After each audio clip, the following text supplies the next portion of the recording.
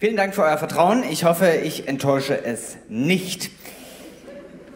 Der folgende Text, ich erkläre gar nicht da äh, so viel zu, ich brauche da keine große Vorrede, er heißt Pest oder Cholera.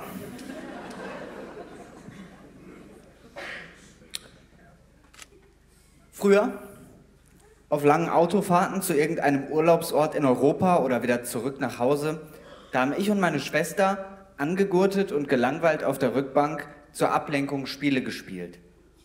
Das kürzeste Wort mit den vier Buchstaben auf dem Kennzeichen des Wagens vor uns. Ich packe meinen Koffer. Ich sehe was, was du nicht siehst. Solche Sachen.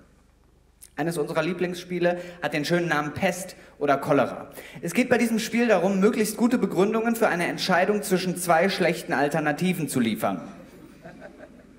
Ich bin dran, sagt meine Schwester. Also wenn du dich entscheiden müsstest, würdest du lieber mit einem Piloten mitfliegen, der ein richtiger Alkoholiker ist und auch schon angetrunken, oder mit einem, der nüchtern, aber ein krasser Epileptiker ist?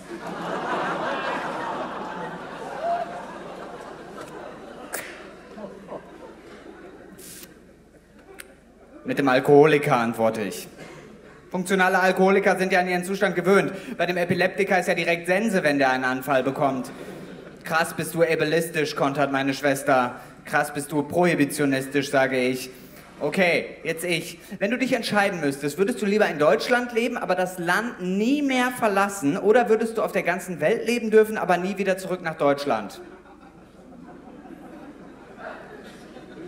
Ich glaube, in der ganzen Welt, da hat man doch viel mehr Möglichkeiten, sagt meine Schwester. Und das ist auch viel größer als nur Deutschland. Vaterlandsverräterin, sage ich.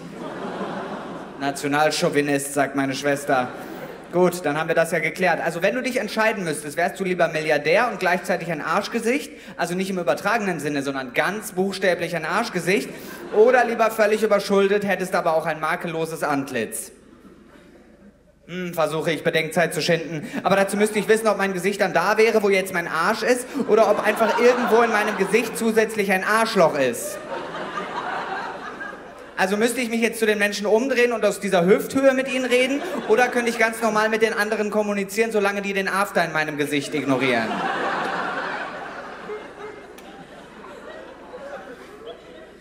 Beantworte jetzt die Frage, du entscheidungsfaule Sau, herrscht mich meine Schwester an.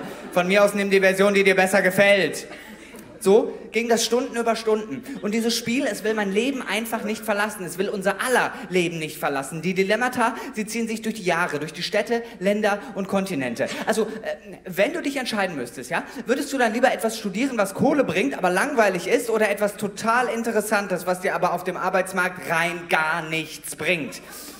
Und wo wir gerade dabei sind, wenn du jetzt wirklich eine Option auswählen müsstest, ja, würdest du dann lieber dein Leben lang der einen großen Liebe hinterherlaufen, aber dann natürlich auch damit leben, wenn du sie nicht findest und dann unter Vereinsamung und allgemeiner Bitterkeit leidest? Oder würdest du stattdessen auf Nummer sicher gehen und dir eine Person suchen, mit der du es eben gut aushältst, um dich dann beim allabendlichen gemeinsamen Zähneputzen immer wieder zu fragen, ob es nicht doch besser gewesen wäre, der eine Liebe hinterherzulaufen? Also jetzt nur mal angenommen, ja, du müsstest dich entscheiden. Würdest du dann lieber von einer CDU-Kanzlerin mit neoliberaler Agenda oder einem SPD-Kanzler mit neoliberaler Agenda regiert werden? Und gehen wir mal davon aus, nur du wärst am Drücker und es wäre möglich, würdest du deine Hitler und Mutter Teresa wiederbeleben oder Stalin und Martin Luther King?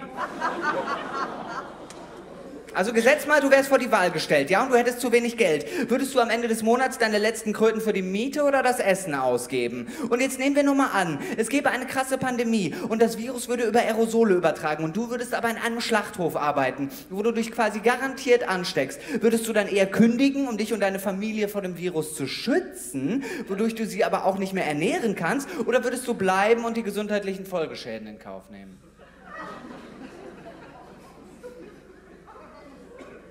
Merkt ihr was? Das Leben mit den ganzen Entscheidungen ist so herrlich souverän, oder? So als ob man am Steuer des Lebens sitzen würde, im Cockpit der Freiheit, im Free Open World Game des Lebens, in dem man selbst der Nabel der Welt ist. Dabei läuft diese viel gelobte Freiheit manchmal darauf hinaus, dass man sich entscheiden darf, ob man die aufgetischte Scheiße mit Messer und Gabel oder doch lieber mit Stäbchen fressen möchte.